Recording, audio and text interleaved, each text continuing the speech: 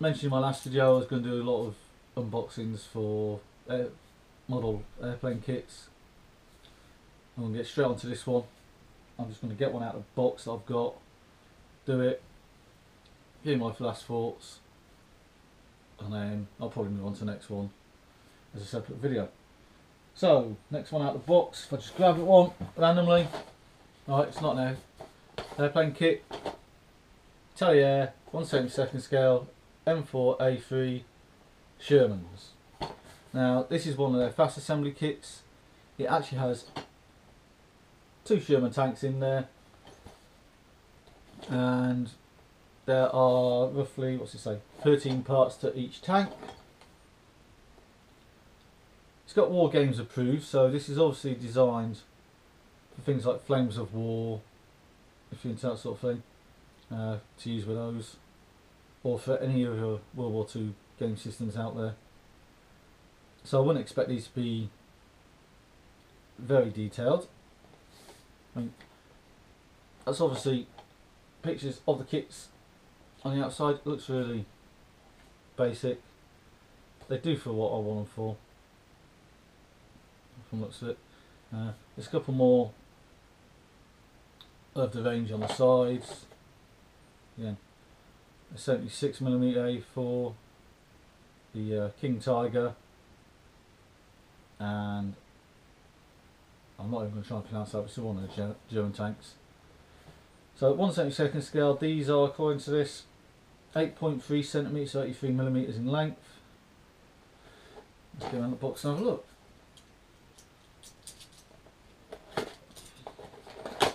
And on the back, it's got the colours and the same instructions on the back. Very, very basic. Let's have a look at the sprue itself.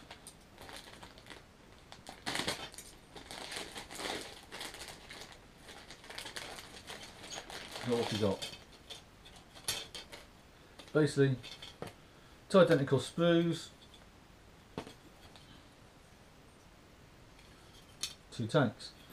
Uh, looking at them, not a lot of flashing on there. Actually, don't look yeah, for what I consider cheap kit, and these were cheap. Again, two tanks were about tenner. I think I paid on Amazon. They're not too bad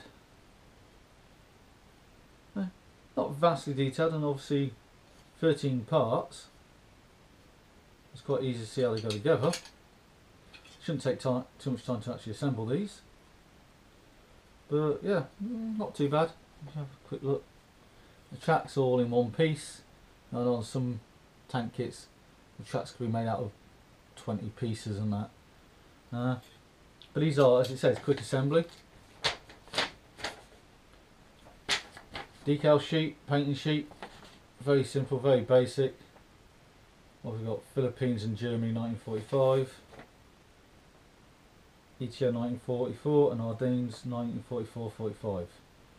So, while it's got the transfers on here, you can see the Ardennes one is a different colour, but it doesn't tell you the colours on here.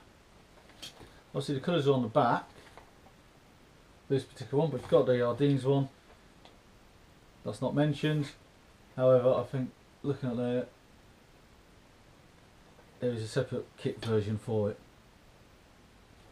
Uh, where's the decals gone? Quick look at decals again. Monochrome because they are basically white. Not too much glue adhesive going around, they look fairly tight shouldn't be too much hassle putting those on. Uh, on the back of this, I can't even read that, but it's the important information regarding safeties with the kit. Yeah.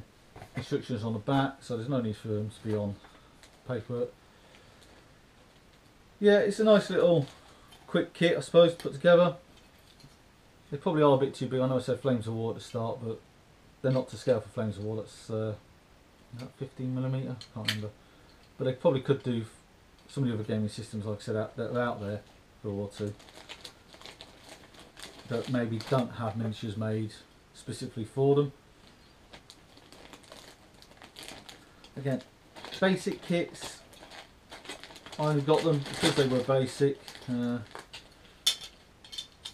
I expect these to be used as destroyed tanks, so why get a kit that's got lots of detail that you're going to wreck and make it look destroyed? A simple kit would be nice for that. These will fill that. Uh, yeah, probably 5 or 6 out of 10 for these, being so basic. But it is what I expected. I knew these were going to be basic when I got them. I can't even get in the box. Come on, get in there. There we go. So yeah, I knew what I was getting when I got these. I'd had seen that it said quick assembly, so 13 parts. So I knew there wasn't going to be much to them. Five or six out of ten. Not really much more to say. So keep your eyes open for the next one.